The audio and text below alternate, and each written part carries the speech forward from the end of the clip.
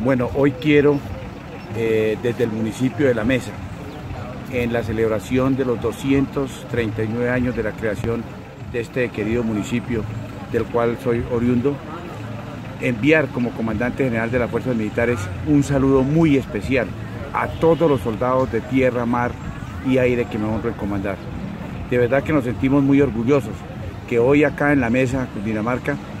toda la ciudadanía de este querido municipio haya estimulado a los 55 miembros de las fuerzas militares oriundos del municipio de La Mesa. Eso para nosotros se convierte en un aliciente más para continuar adelante sin desfallecer, cumpliendo la difícil misión que hacen los soldados de la patria,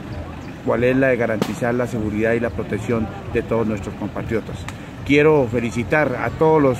conciudadanos de la Mesa Cundinamarca en estos 239 años y desearles que el año 2016 sea un año pletórico en éxitos y realizaciones.